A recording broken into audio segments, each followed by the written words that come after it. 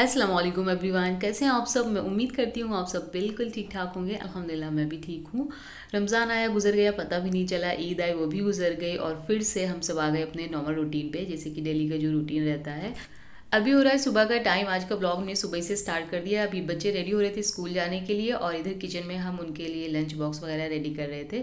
जिससे कि गर्मी बहुत ज़्यादा आ गई है तो एक एक बॉटल में हम ठंडे पानी में गुलकोंडी बना के उनको दे देते हैं थोड़ा सा नॉर्मल पानी भी मिला देते हैं। और जो सुबह का ये टाइम होता है, जब बच्चे स्कूल के लिए रेडी हो रहे होते हैं तो इतनी ज़्यादा अफरा तफरी मची होती है घर में। कभी जैन आवाज़ दे रहे हैं, कभी जोहा आवाज़ दे रही हैं।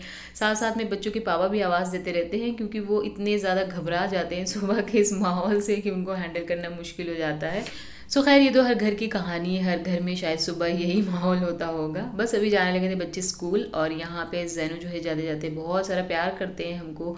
बोलते हैं कि, मम्मा, बहुत ज़्यादा मिस करते हैं आपको स्कूल में। हालाँकि ऐसा कुछ भी नहीं है, वहाँ पे जाके एकदम मस्त हो जाते हैं जैन आजकल के बच्चे बड़े स्मार्ट हैं। इनको पता रहता है कि मम्मा पापा के कैसे मक्खन पॉलिश लगानी है। जिस दिन जैन को कुछ चाहिए होता है, उस दिन जैन कुछ ज़्यादा ही मिस करते हैं हमें। बोलते, मम्मा, आज बहुत ज़्यादा आपकी याद आ रही थी। और फिर उसके बाद अपनी फरमाइश कर देते हैं। बच्चे जैसे ही घर से निकलते हैं, घर में एकदम सन्नाटा सा छा जाता है और यहाँ पे हम पढ़ने लगे थे इशराक की नमाज़। डेली का ये है कि जैसे ही बच्चे स्कूल के लिए निकलते हैं, बस फ़ौरन हम वज़ू करके इशराक की नमाज़ पढ़ लेते हैं। पहले तो हम ही बच्चों को स्कूल ड्रॉप करने जाते थे मॉर्निंग में लेकिन जब से आ, मेरा एक छोटा सा एक्सीडेंट हुआ है तब से हमें इस काम से छुटकारा मिल गया है। हस्बैंड जो सुबह सो रहे होते थे तो हम उन्हें उठाते ही नहीं थे क्योंकि हमें पता रहता था कि ज़ाहिर है हमें तो उठने ही उठना है, बच्चों को रेडी करना, उसके बाद उनका लंच वगैरह तैयार करना और ये सब करने के बाद फिर हम खुद से ही ड्रॉप कराते थे बच्चों को। लेकिन जब से मेरे साथ एक छोटा सा हादसा हुआ है, तब से हस्बैंड ने बोला कि नहीं, अब तुम नहीं जाओगे छोड़ने के लिए, हम खुद से छोड़ आया करेंगे। जब से मेरी छुट्टी हो गई इस काम से और इन लोग के निकलते ही बस सुकून से हम इतमान से अपनी शाख की नमाज़ अदा कर लेते हैं और बहुत सारी दुआएँ करते हैं अपने लिए और आप सब के लिए भी।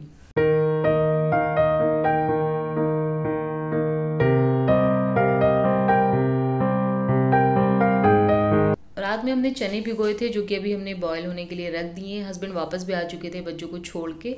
और यहाँ पे जो है ये जो छुरी आप लोग सॉरी चाकू देख रहे हैं, इसको हम छुरी बोल रहे थे तो हस्बैंड बोले कि नहीं, जो बड़े साइज़ का होता है, उसको चाकू बोलते हैं। अच्छा ये वाली बात हमें बिल्कुल भी नहीं पता थी। हम कभी छुरी चाकू कुछ भी बोल देते थे मतलब इतना नहीं हमें पता था कि बड़े साइज़ के जो होते हैं, उनको चाकू बोलते हैं, और जो छोटे साइज़ का होता है, उसे छुरी बोलते हैं। तो इस बात को लेके हस्बैंड यहाँ पे थोड़ा मेरा मज़ाक भी बना रहे थे, बोल रहे थे कि तुम्हें इस बात का पता ही नहीं कि छुरी किसे कहते हैं और चाकू किसे कहते हैं। वैसे तो तुम बड़ी घर गृहस्थ लड़की हो, लेकिन सीरियसली हमें बिल्कुल भी नहीं पता था बट अब पता हो गया है और आइंदा से ध्यान रखेंगे।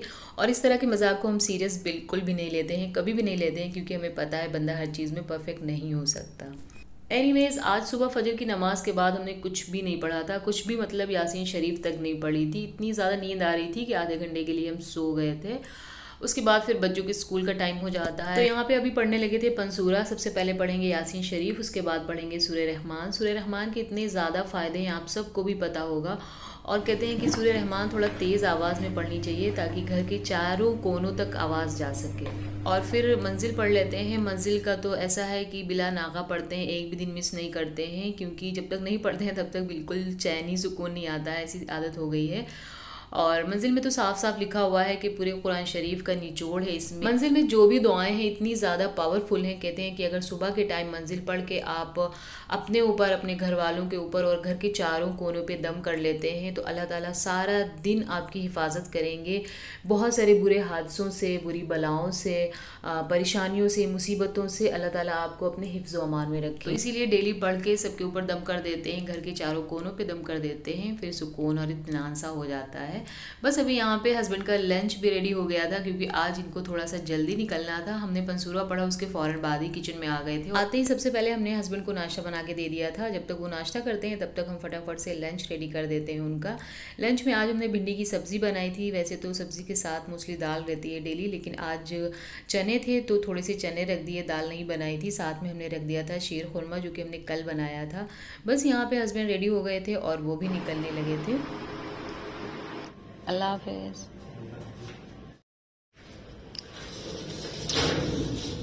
बस हस्बैंड अभी जा चुके थे और उनके जाने के बाद जब हम डोर बंद कर रहे होते हैं तो हमें ऐसी फीलिंग आती है जैसे कि हम किसी जेल में बंद हैं क्योंकि डोर का जो डिज़ाइन है ना वो कहीं किसी सलाखों से कम नहीं लगता so, खैर ये एक छोटा सा मज़ाक था मज़ाक से हट के हमने अपना नाश्ता कर लिया था उसके बाद फिर हमने सारे घर के काम किए कामों से फारिग होके।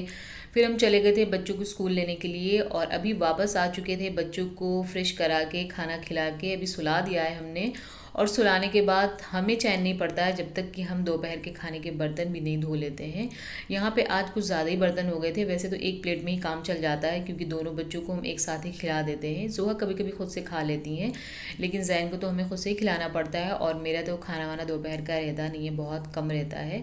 बट आज बच्चों ने वही शीर खुरमा खाया था तो कटोरी और स्पून सारी इकट्ठा हो गए। और साथ में बच्चों के लंच बॉक्स एंड बॉटल्स वगैरह तुरंत ही धो के रखते हैं, कभी भी ऐसा नहीं होता है कि शाम के लिए छोड़ दें। सोचते हैं कि आज छोड़ देंगे और शाम में फिर धो लेंगे जब चाय वाय के बर्तन होंगे।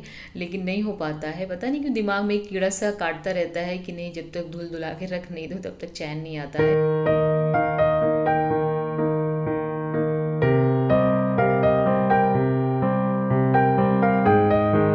बातों बातों में आप सबको ये बताना तो भूल ही गए कि मेरा ब्लॉग इतना लेट क्यों आ रहा है।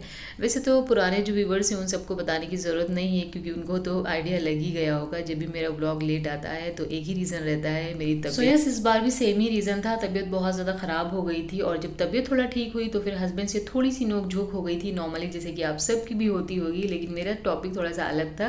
बिकॉज़ हस्बैंड बोलते हैं कि रात में जग के तुम ब्लॉग एडिट नहीं करोगी ये जो तुमने एक मुसीबत पाल रखी है ना अपनी हेल्थ और भी ज़्यादा ख़राब करने के लिए वैसे ही अपना केयर नहीं करती हो उसके बाद फिर रात में रात तो सोने के लिए होती है और तुम जगती हो उसके बाद फिर तुम फ़ोन पे ये काम करती हो तो अपनी आँखें भी ख़राब करो और अपनी हेल्थ भी ख़राब और बहुत ही गुस्से में बोला था क्योंकि जब मेरी बहुत ज़्यादा तबीयत बिगड़ी तो फिर उन्होंने बोला कि अब तुम ये बिल्कुल भी नहीं करोगी।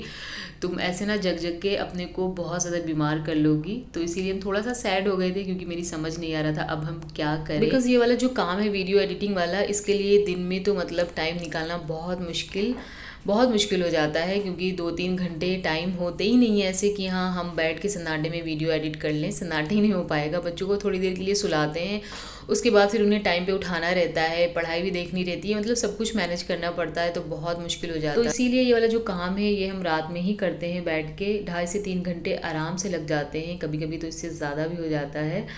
लेकिन जब मेरी तबीयत ज़्यादा ख़राब हुई और हस्बैंड ने फिर इस तरह की बातें बोली तो हमें भी थोड़ा समझ आया कि आ, सही बात है अगर अपनी जान है तो जहान है। लेकिन जैसे ही सब कुछ थोड़ा सा नॉर्मल हुआ फिर से हमें अपने यूट्यूब की याद आने लगी और दिल करने लगा कि हम अच्छी सी वीडियो बनाएँ।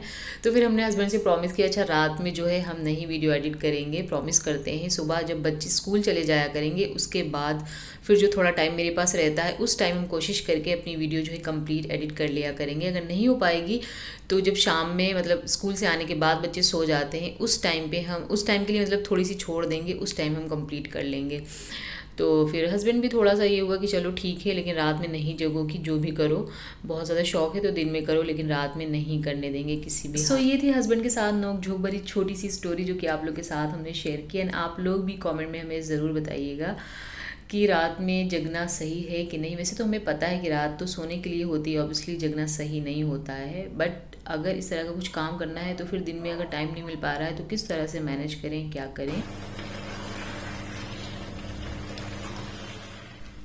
एनीवेज अभी हो गया था रात का टाइम और यहाँ पे बनाने लगे थे हम खाना। खाने में बना रहे थे आज चिकन स्टू पता नहीं क्यों आज बहुत ज़्यादा दिल कर रहा था कि कुछ नॉनवेज में बनाए, क्योंकि दाल सब्ज़ी खा खा के बहुत ज़्यादा तबीयत बोर हो जाती है। कभी कभी तो बस मन करता है, बहुत चटपटा सा कुछ खा लें, लेकिन वो भी सूट नहीं करता है, आदत ऐसी हो गई है।